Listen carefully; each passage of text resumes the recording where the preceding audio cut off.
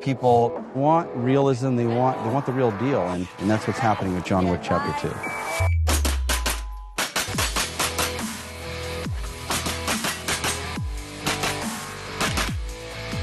It is setting the bar so far beyond any shootout stuff you'll ever see in a movie.